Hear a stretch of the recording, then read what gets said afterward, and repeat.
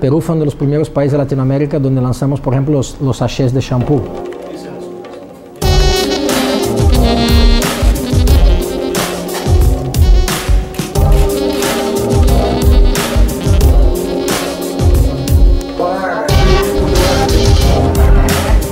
Mira, nosotros tenemos una historia en esos 57 años de, de crear categorías.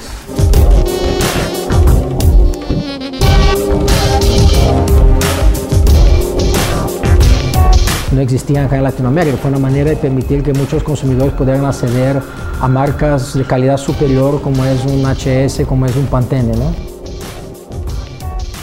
Lo que la gente está buscando es la capacidad de poder acceder a los productos que muchas veces no podía. Trayendo nuevas categorías al Perú que empiezan a crecer y ser importantes, cuanto completando nuestro portafolio arriba también, trayendo productos de mayor performance superior en, lo que sería la mejor tecnología en el mundo.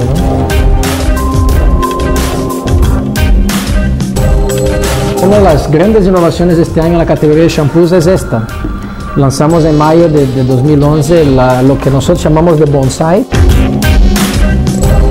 Es nuestra botellita de 100 ml para Pantene, 90 ml para HS. Introducimos esto en eh, esta, esta presentación en, abril de 2012.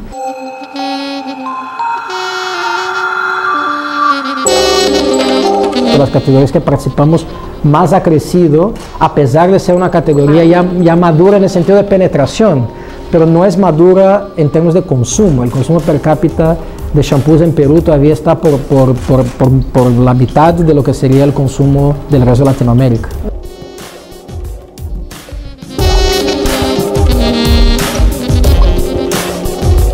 La gente quiere poder comprar en el Perú lo mejor que existe en el mundo.